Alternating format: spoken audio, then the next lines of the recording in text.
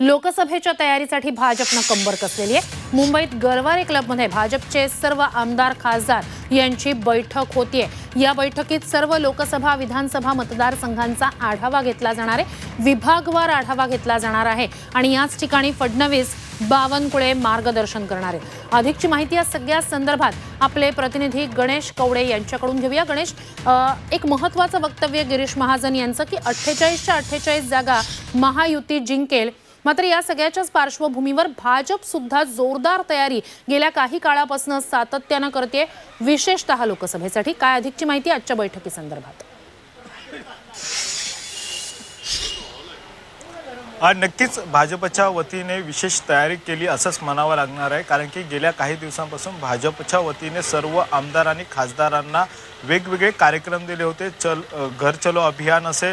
यास केंद्र सरकार आणि राज्य सरकारच्या वतीने जे काही हाताला मुंग्या येत होत्या. गुडघे कंबर मान पाठ खूप दुखत होती. अमृत लोणी आर्थो प्लस घेतल्यापासून हाताच्या मुंग्या कमी झाल्या. आरोग्याचा भरोसा अमृत नोनी ऑर्थो प्लस काम केलेलं आहे. याचा कामाचा लेखाजोखा देखील सर्वसामान्य नागरिकांना पोहोचवण्याचं काम असे या सगळं काम आहे ते आज उपमुख्यमंत्री देवेंद्र फडणवीस असतील या प्रदेशाध्यक्ष बावनकुळे असतील यांच्यासमोर ठेवलं जाणार आहे. आता जी पहिली बैठक आहे ती पश्चिम महाराष्ट्राची आहे.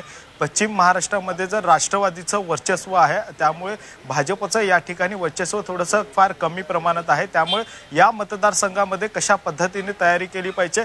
सध्याचे जे भाजपचे आमदार ज्या ठिकाणी आहेत त्या ठिकाणचे नेमकी कामं काय बाकी आहेत काय कामं झालेली आहेत त्याच पद्धतीने ज्या भागामध्ये भाजपचे आमदार नाही आहेत त्या भागांमधल्या लोकांपर्यंत आपण कशा पद्धतीने पोचलं पाहिजे?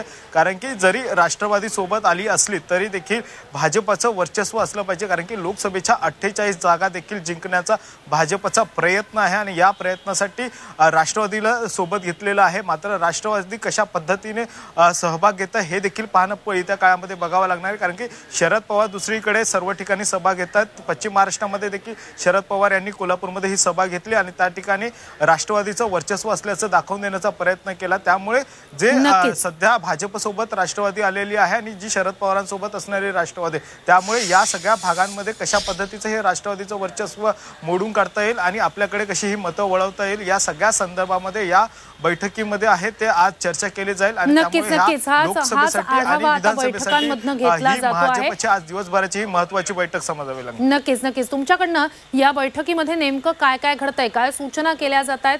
या सगळ्याचे अपडेट्स तुमच्याकडनं घेऊ तूर्तास धन्यवाद. तुम्ही दिलेल्या संपूर्ण माहितीसाठी. सह्याद्रीची उंची म्हणजे